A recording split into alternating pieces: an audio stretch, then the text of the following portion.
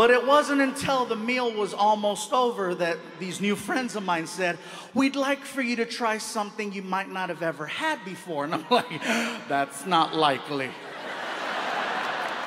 I said, Well, what is it you want me to try? And they said, Well, they sell a thing here at Portillo's called a chocolate cake shake.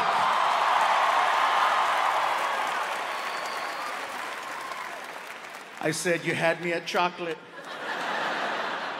They said, Well, you got to go up to the special window and you got to order it from the lady. So I'm like, Okay, cool. So I get up and I walk over to the lady and she's like, Can I help you? I say, Yes, um, my friends are telling me that I need to try this thing called a chocolate cake shake.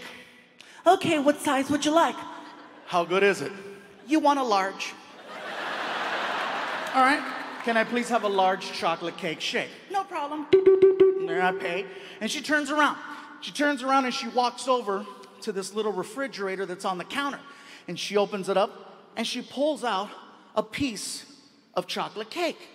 And I'm thinking to myself, she must misunderstood what I said. I didn't ask for a piece of chocolate cake, I asked for a chocolate cake shake. She must have heard what I was thinking because she's walking by and she's like, it's gonna happen.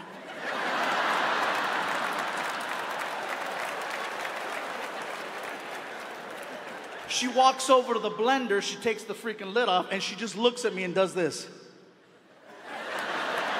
And I was like, no. And she's like, oh yeah. She pours it and she hands me this like 44 ounce chocolate shake, which is way more than anybody should be drinking. The straw was so thick you could almost fit your thumb in it, okay? So I grab the shake and I, and I begin to attempt to drink it. So I'm just, mm, mm, mm, and I can see the shake coming out. Mm, mm, mm, and it hit, and then all of a sudden, woo!